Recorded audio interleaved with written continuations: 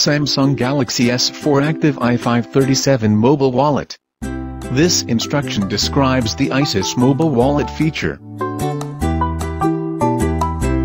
Step 1. From the home screen, tap Apps. Step 2. Swipe to, then tap SoftCard. Step 3. Tap GET Started. Step 4. Tap I agree. Step 5. Tap the email field. Step 6. Enter the desired email, then tap Next.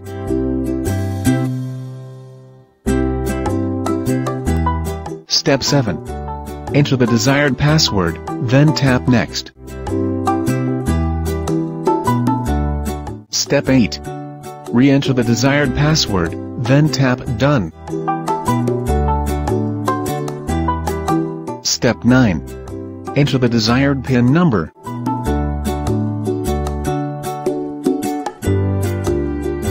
Step 10. Re-enter the desired PIN number.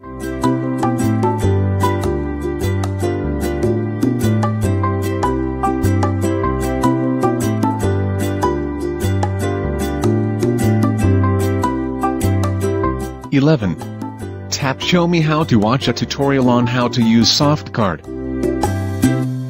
12. Tap Start using SoftCard.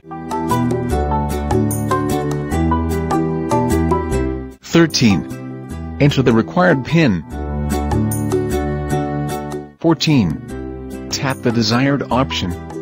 Note, for this demonstration, no oh thanks, continue to wallet was chosen. 15. Tap no thanks, continue to SoftCard. 16. To add a payment option, tap ADD a card. 17. Follow on-screen instructions to complete the process.